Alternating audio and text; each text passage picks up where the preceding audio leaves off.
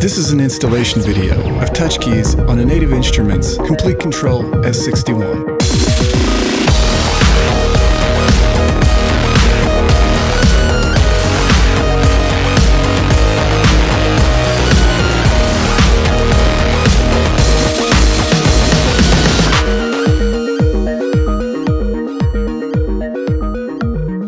First unboxing TouchKeys, it's best to lay out all of the components to see how the pieces fit together.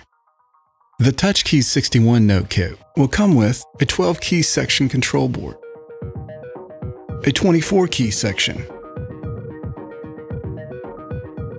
and a 25 key section labeled Top C. Your kit will also include a mini USB control board.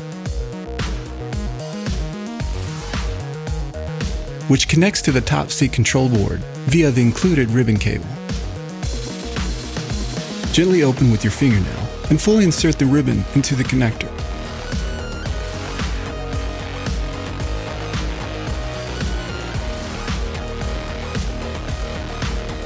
To connect the controller boards together, repeat the same process.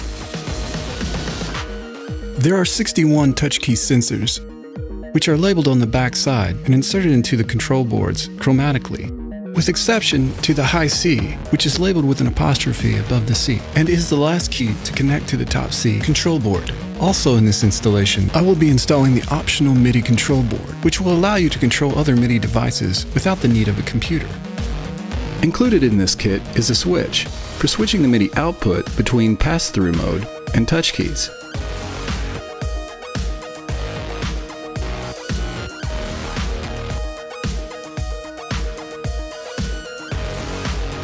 To bring the USB out of the keyboard, I purchased a USB panel mount feed-through.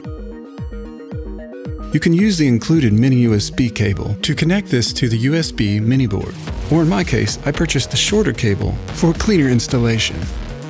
Also included in the kit is a coupler and two ribbon cables in case you need to extend the length of the MIDI installation kit.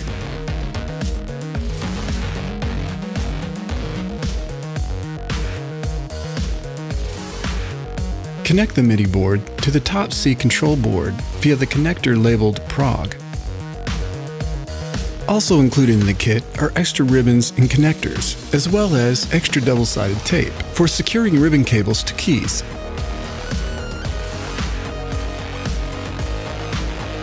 For this installation, you will need a utility knife for scoring the adhesive backs of the keys, a felt tip pen for marking measurements, a screwdriver for opening the keyboard, a power drill for drilling the MIDI and USB ports, strong scissors or snips for cutting the sharp key sensors to length, a surface cleaner for cleaning the key bed, a fine tooth hole saw bit for drilling MIDI and USB ports. Also a small standard drill bit for drilling any screw holes.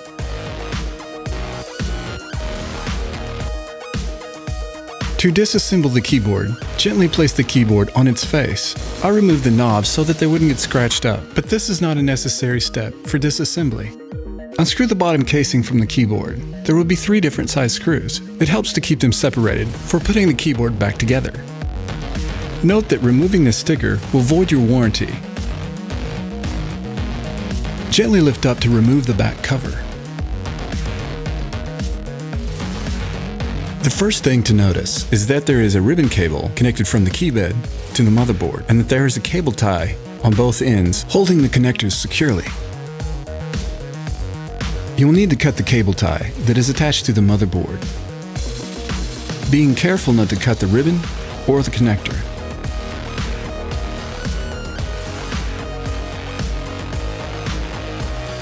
Gently pull up to remove the ribbon cable from the connector. Locate the mod and pitch pin ribbon cable.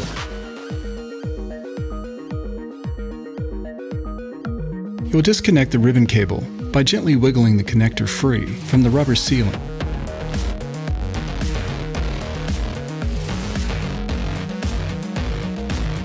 Remove the keypad from the cradle by lifting up on the braces of the back of the keyboard towards you.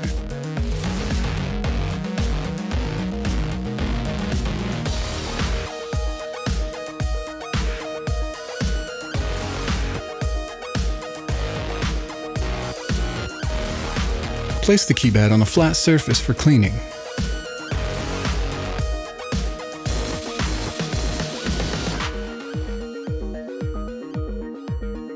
For the Kontrol S61, there's no need to cut any of the natural keys down to size, but it helps to locate the high C and check the alignment of how the placement of the natural keys will be.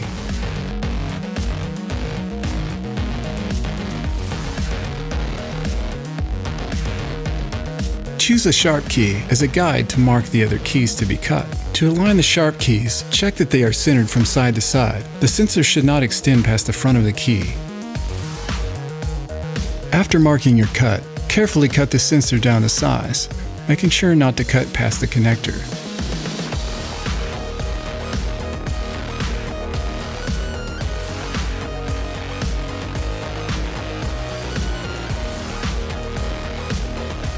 Attach pieces of double-sided adhesive to the backs of the black keys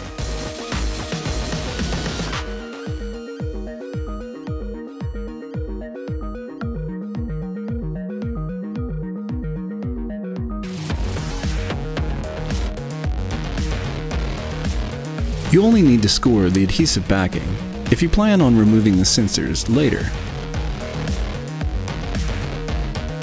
One of the most important things is to make sure that the ribbon cable is connected securely because it will be hard to remove the sensor after you've attached it. Remove the adhesive backing.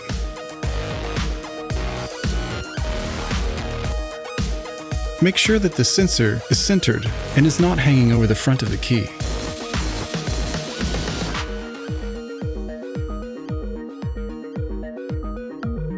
Continue this process, making sure that you align all of the keys to each other.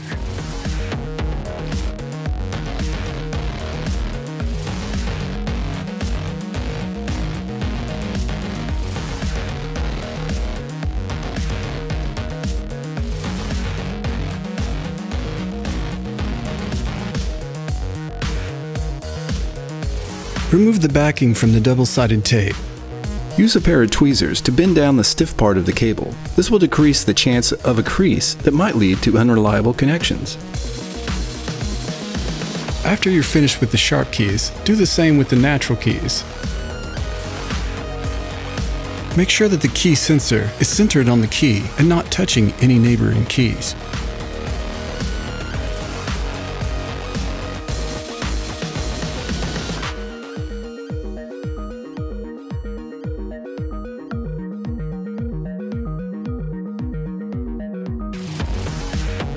You can leave a small amount of overhang off the front of the key.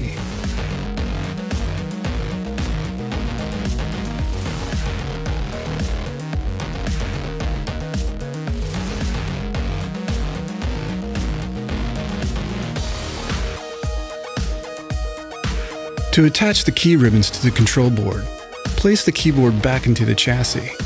Reconnect the key ribbons into the control board, making sure to place them into the appropriate connector. When you're finished, make sure that you check the control board ribbon cables as well.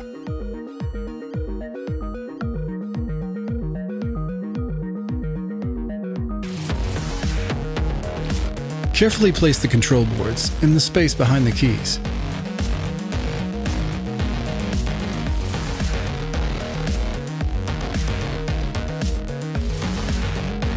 Reconnect the two ribbon cables of the Kontrol 61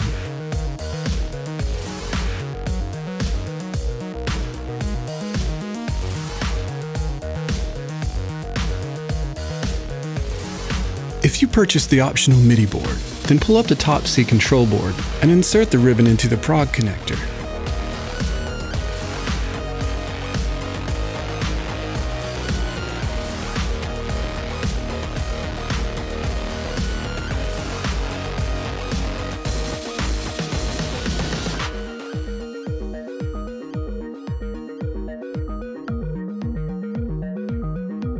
Remove the adhesive backing and secure the USB board to the Kontrol's keybed motherboard.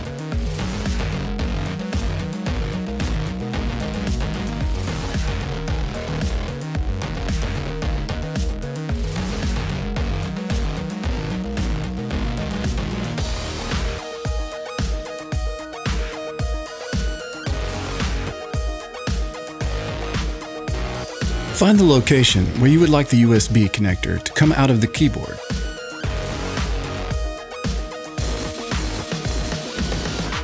Connect the USB coupler to the USB mini board.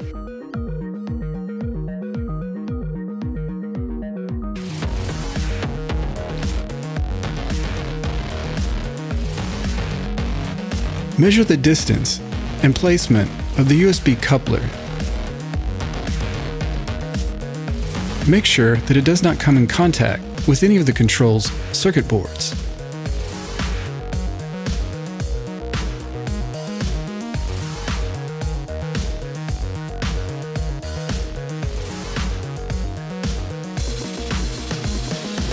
To get your distances, measure from the existing MIDI port.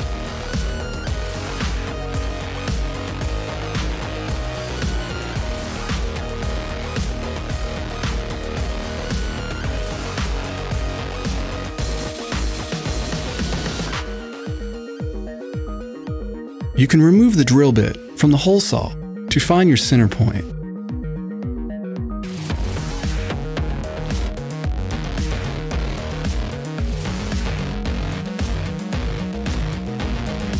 Carefully line up your drill bit with the hole that you had marked, making sure that you're free from any internal objects.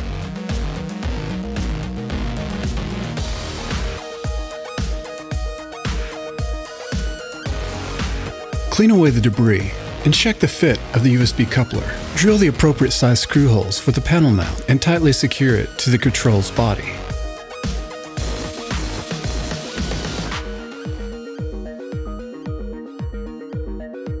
If you purchase the optional MIDI board, find the location where you want it to be installed. Also check where you would like to install the switch.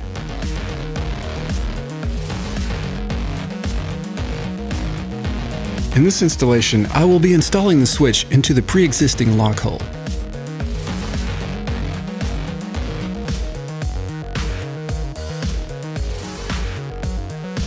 It is necessary for me to drill the hole to a larger diameter.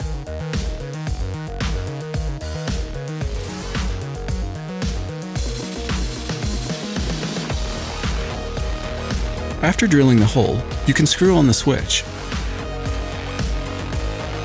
to install the MIDI board, you could use a hole saw bit or a paddle bit. In this installation, I will use a paddle bit.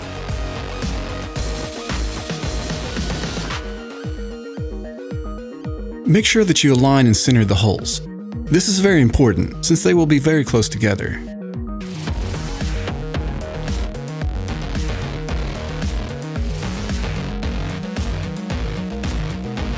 Optionally, I placed a rubber-coated adhesive barrier on the circuit board below, where I'm installing the MIDI board, making sure there is no connection between the leads.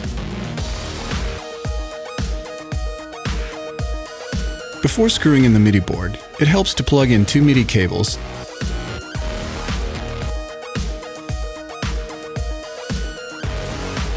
Use a small drill bit to drill in the screw holes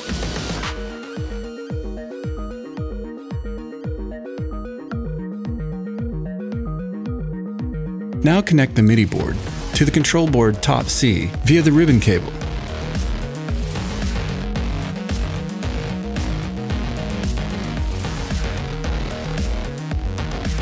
Reattach the bottom of the keyboard case, screwing in all the necessary screws. Clean the key surfaces. Replace knobs if removed during installation. Connect the TouchKeys USB port and the Kontrol USB to your computer and launch the TouchKeys software.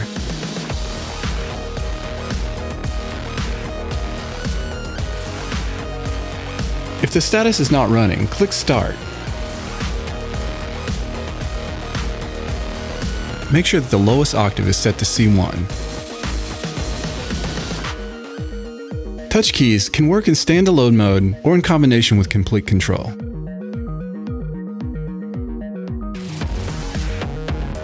Set your MIDI input to Komplete Kontrol. When the keyboard display is shown, you can see that the sensors are active. TouchKeys can set up to 8 zones with different key ranges using different mappings.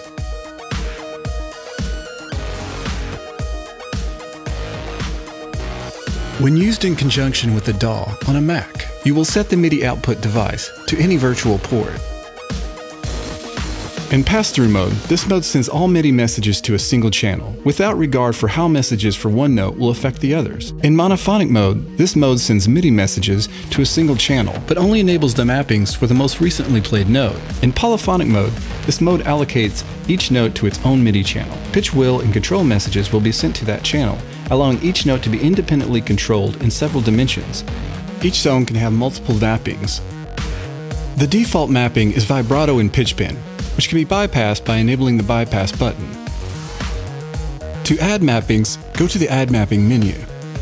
There is mappings for control, vibrato pitch bend, split key, multi-finger trigger, and release angle. You can also enable experimental mappings under the Control menu, which will show onset angle and release angle under the Add Mapping menu. The basic control is using one finger on the X and Y axis. Also for extended control, you can use surface area for up to three fingers of control.